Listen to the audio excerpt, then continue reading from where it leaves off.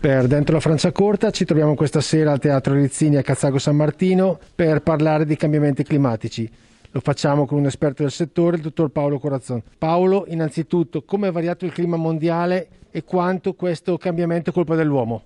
Sì, Purtroppo ci sono evidenti eh, dimostrazioni che le cose stanno cambiando e dico purtroppo perché stanno cambiando a tutti gli effetti in peggio, quindi abbiamo un riscaldamento innanzitutto globale del pianeta con un aumento delle temperature ormai misurato e registrato, quindi non si tratta di ipotesi, questo purtroppo è un dato di fatto e questo sta comportando di conseguenza anche scioglimento dei ghiacciai, sia quelli montani sia anche quelli di Artide e Antartide e poi anche un una, una ridistribuzione delle precipitazioni. Lo stiamo vedendo anche noi in questi ultimi mesi con il nord Italia che soffre di una siccità che non si era mai vista prima in un periodo dell'anno così. Quindi sono tante le conseguenze e purtroppo la situazione non sembra migliorare al momento.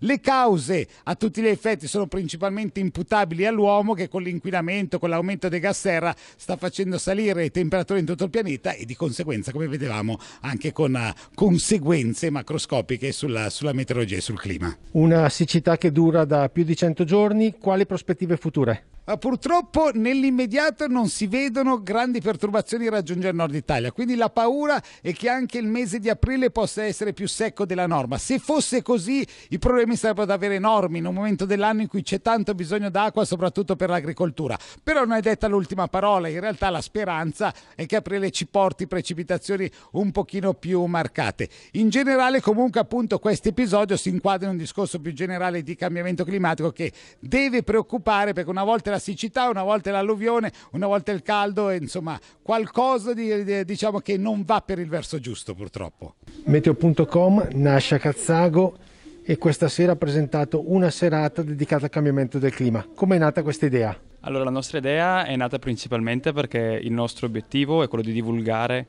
eh, la nostra passione, quindi la meteorologia, anche a livello regionale e provinciale.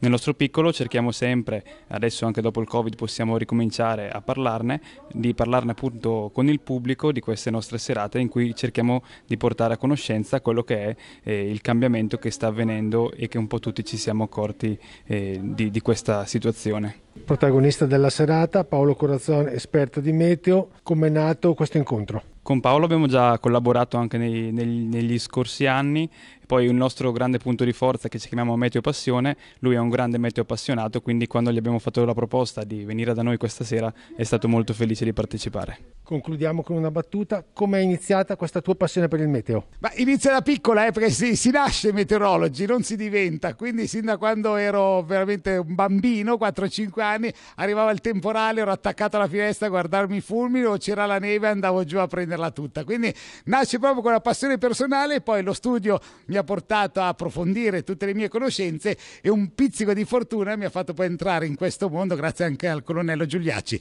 e ora a Trevimeto ho trovato la mia casa.